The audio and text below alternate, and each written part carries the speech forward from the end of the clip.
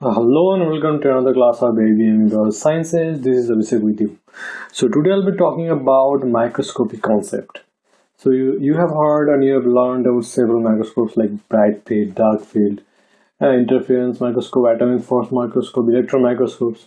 But do you know what are the basics of microscopes? So what is the resolution? So every microscope stands because of the resolution. So different microscopes are there due to their resolution. So you need to understand the basics of microscope before going to each and individual microscope is altogether. So let's start with the basics of microscope concept that is the microscopic resolutions. So what is resolution? So microscopic resolution is the capability of the microscope to differentiate between two objects that are close together. That is called the resolution acquired by the microscope or the lens. So, a scientist, a German physicist, Abbe, just uh, devised an equation which strongly defines how a microscope works and what will be the conditions to make the microscope more efficient and the resolution much more greater. So that is called Abbe's equation. Abbe equation which says about small d is equal to 0.5 lambda by n sine theta. So this is the basis of microscope. Now, but d is the distance between two objects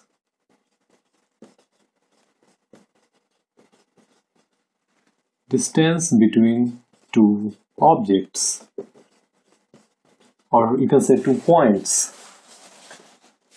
Now lambda is the wavelength of light which you are passing through the object or your specimen. Now n is the or cumulatively you can say n sine theta is the numerical aperture.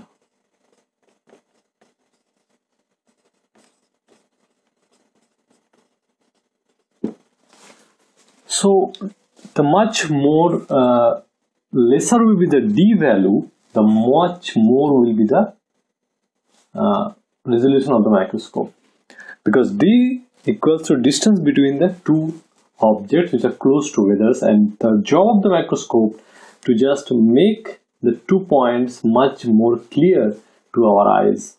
So that's why D has to be very very smaller to enhance the resolution of the microscopes. So for that what we have to do? So now lambda, lambda is the wavelength so it has to be much more of a shorter wavelength. So the wavelength will be more more shorter that's why when the base value of n sine theta much more higher, so you will automatically get uh, d value of much more lower value, which signifies the resolution. So lambda is very uh, easy to understand. So now we'll go for the n sine theta, which is a very very crucial for a microscopic subject. Now if you break the n sine theta, where n is the refractive index.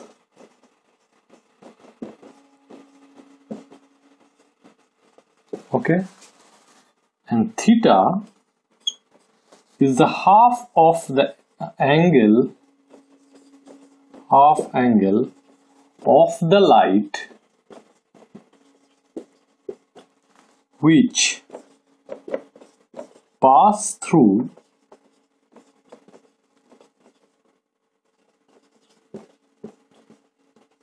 the specimen towards objective lens. So if you break the n sine theta, that is the lower uh, base of the Abbe's equation, where n is the refractive index and theta is the half of the angle of the light which pass through the specimen towards the objective lens. So I will describe each n and theta separately so that your concept will be clear. So first I'll go for the n. Now n is I said that is refractive index. So when a light passes from one medium to another medium that time it was bent or bent towards the lower angle and it is called refraction or the refractive index. So suppose this is a prism. Okay this is a prism and one light. Sorry change the color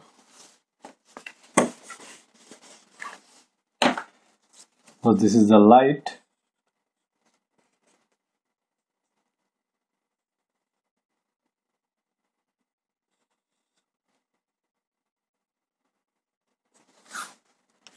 So the light, this red one is the light which is passing from one medium to another medium. So what is the medium here? The first medium is air as the light is passing through air and the second medium is glass as the prism is made up of glass. So when a light passes through from uh, lower refractive index medium to higher refractive index medium that time the light rays will be bent at the interface. So this is the interface of the two medium where the light is bent. And you see if you see the angle it is lower compared to the external angle through which it is entering. So first one is the I will say it again that the light when passes through air that is the first medium to the second medium that is glass that time the light rays will be bent at the interface of the two mediums and that is called refraction or refractive index. So from that you can understand that n is equal to refractive index which is for air for air it is 1 so any sample which is passing the light through it in the air medium that has a maximum n of 1 okay? So now you can in, increase the refractive index if you use oil immersion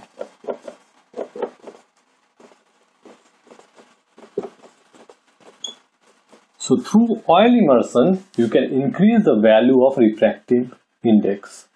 And that's why we can increase the value of n, that is 1.25. I'll go for the theta. So theta, I said half of the angle of the light which passes through the specimen towards the objective lens. So suppose this is the stage of a microscope. This is the stage. Or you can say here is a specimen. And this is your specimen here. And the light is passing from below. There is a source of light. Okay. And here your objective lens is there.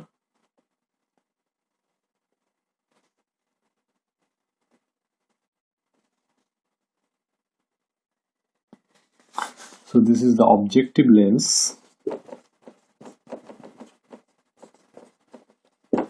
Okay. Now the light rays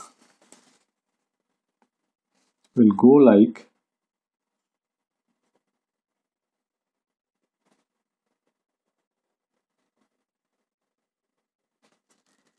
and this will be the angles.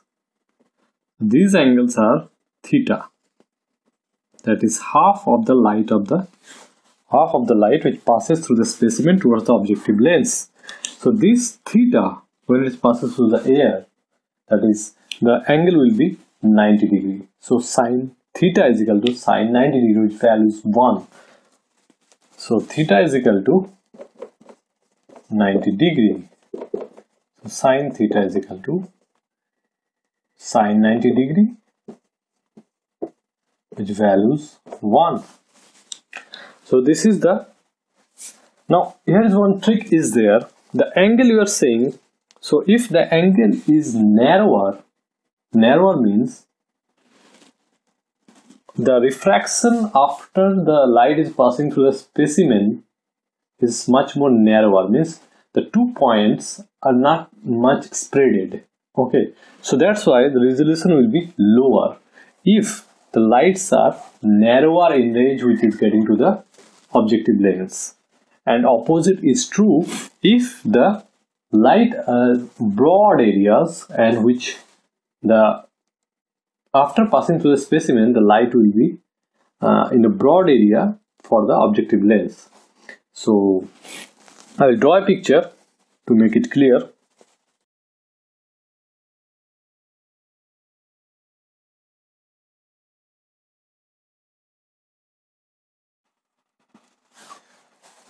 So here you can see that the angles are much more wider and the two points will be separated much more efficiently if the refracted lights are much more in the wider area. So that is a crucial thing when you're considering the sine theta of the lens.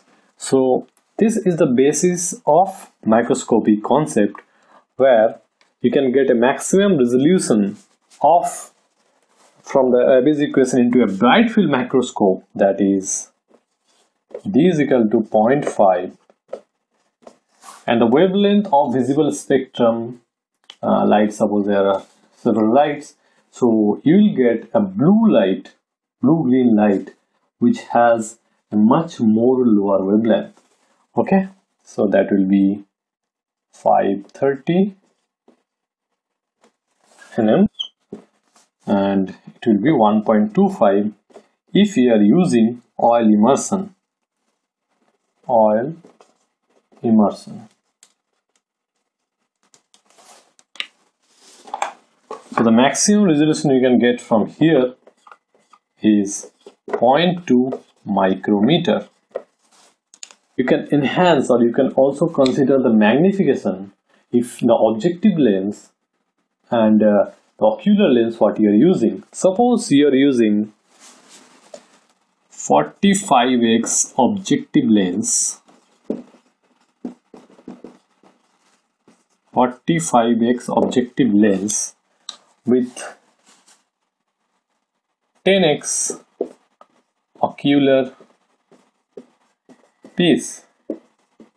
So your magnification will be 450x okay so likewise you can uh, divide or magnify an object that is the separate two of the points that stick together through a microscope up to 450x if you are using a 10x ocular eyepiece with 45x objective similarly suppose you are using uh, 10x objective lens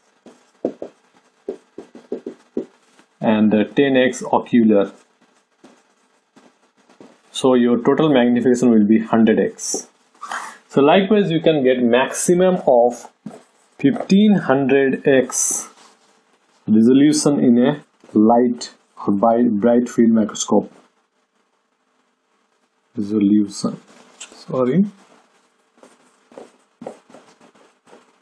Okay.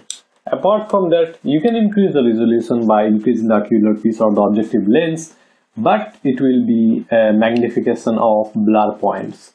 Because your image which you are getting uh, through the focus is already blurred. So uh, from a certain point or above a certain limit you cannot increase the resolution of the microscope but you can magnify it as a blur point. And when you are observing uh, a specimen under the microscope the virtual image of the microscope forms just beyond the stage that is 25 centimeter away from the stage that is the virtual image of the specimen. You can see that time. And the distance is 25 centimeter. Away so this is also a very important information for your exam. So i hope this is clear. If you have any questions please ask me. And uh, give a big thumbs up to my video. And if you like my video if you like my channel please subscribe and come again. I'll be updating different types of classes and clearing your concept day by day so thank you very much